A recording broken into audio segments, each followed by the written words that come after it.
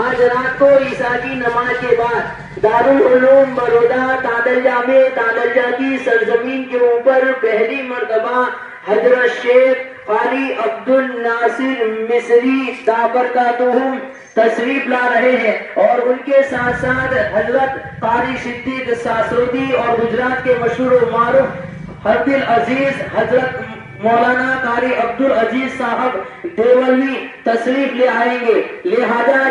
से ज़्यादा तादाद में शिरकत फरमाकर सवाबेदारे हासिल करें और अपने आप को कुरान करीम से मोहब्बत होने का सबूत पेश करें।